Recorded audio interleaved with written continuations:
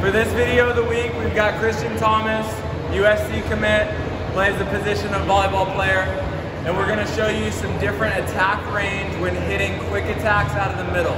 So what's gonna happen is he's gonna get two warm-up swings to each zone in this first round.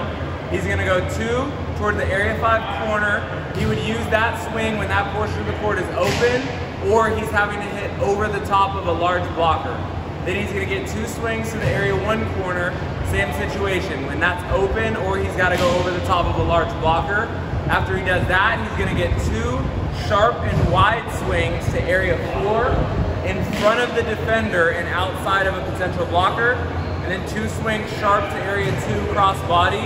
Same thing, in front of the defender and outside of the blocker. So as he goes through these, he's gonna try to focus on his timing of being up with his right elbow above his ear as I'm touching the ball as a setter. And then as he gets on top of it, he's gonna focus on looking the same as he comes in and making the hand change late.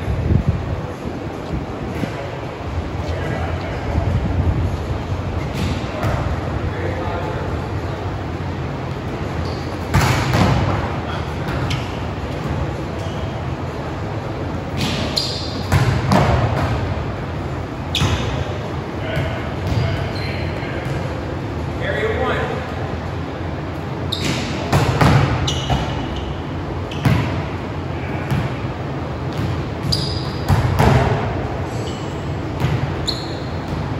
Area four.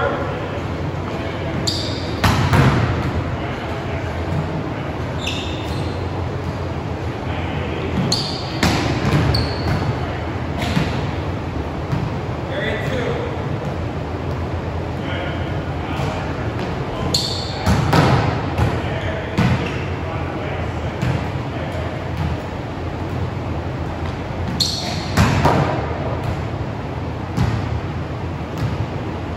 So although we didn't hit the spot every single time, you're, it's apparent that Christian's trying to make the effort to have his hip and arm rotate to where he wants the ball to go.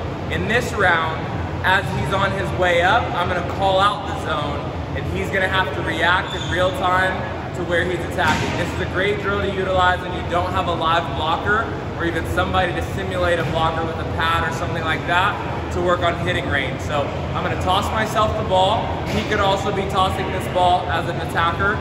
And then as he's on his way up, I'm gonna either say one, five, two, or four, and he's gonna have to react and make the accurate attack.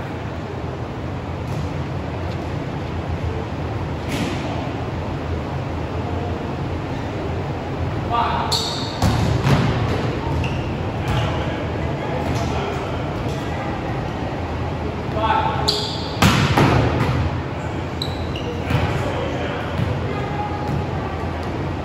Four.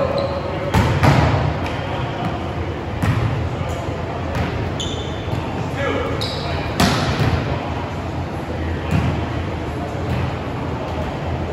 One.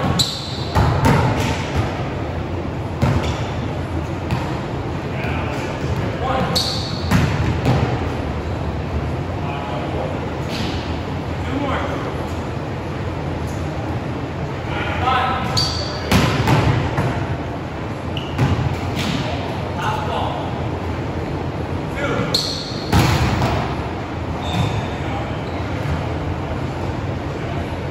So as Christian gets into his work, you notice every swing was inaccurate, but that's how it works in real matches. You're gonna have to make late decisions, and you're gonna have to learn how to be accurate with those decisions. Hope that drill helps you all out at home. We'll see you next video.